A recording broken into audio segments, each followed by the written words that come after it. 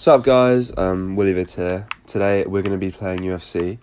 Um, a great game. I know that this isn't quite UFC 4, but well, you know what? We can cope with UFC 3. It's not that bad, really. How to win. Um, although, you know, don't follow this tutorial with too much confidence, because if you do, you might just lose. Touch gloves if your opponent's up for that. No.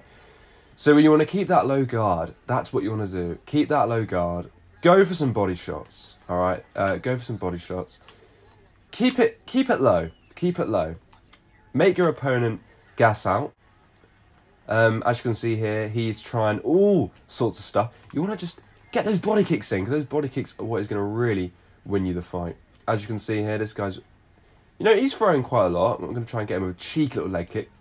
Ah, oh, perfect.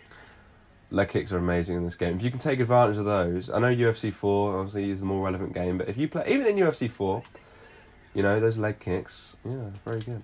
All right, he's got me a nice uppercut there. You want to, you know, use some gas.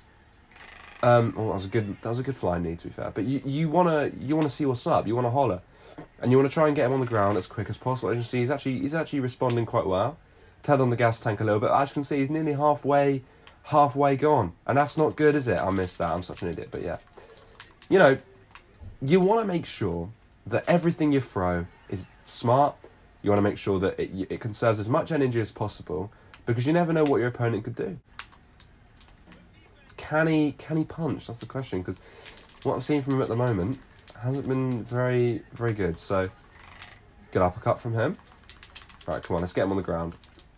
It's a 10-9 round at the moment because I got him on the ground once. So let's try and might go for a sneaky kick. Oh, okay reason I'm punching is this guy's already he's low on gas. So you know I could keep going for these leg shots, but at the end of the day, um, I reckon that I can get him on the ground just by doing this.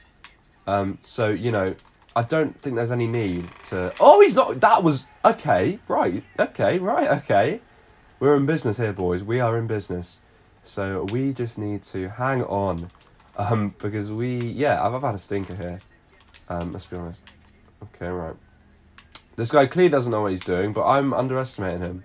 Don't do that. See, I'm a hypocrite. I've gone against my advice. Here we go.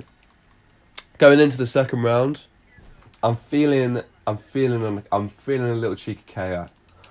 That's what I'm feeling. But guys, you know, you don't have to take my advice.